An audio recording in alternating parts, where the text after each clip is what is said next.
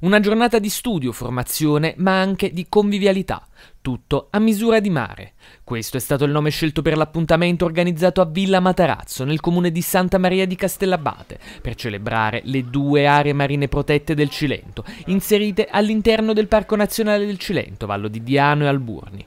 Due aree marine protette che sono un valore aggiunto per il parco, come ha spiegato Giuseppe Coccorullo, presidente dell'ente Parco Nazionale del Cilento, Vallo di Diano e Alburni. Sicuramente un credo per il parco all'inizio forse è stata vista come una limitazione, però secondo me eh, con, anni, con, il passare degli anni piano piano i pescatori hanno capito che può essere una risorsa importante. Un nuovo progetto per la protezione e il ripristino degli ecosistemi acquatici ha confermato Romano Gregorio, direttore del Parco Nazionale. Oggi abbiamo festeggiato la conclusione di questo progetto, abbiamo illustrato i risultati che abbiamo ottenuto ma soprattutto abbiamo dimostrato di eh, poter coinvolgere tutti gli operatori economici di questo fantastico mondo che ci è dato dalle aree marine protette, con in primis i pescatori e a seguire tutti gli altri operatori economici. A finanziare il progetto la Regione Campania, ci ha detto di più Antonella Cammarano dell'Ufficio Pesca della Regione. Una parte dei numerosi progetti che la Regione Campania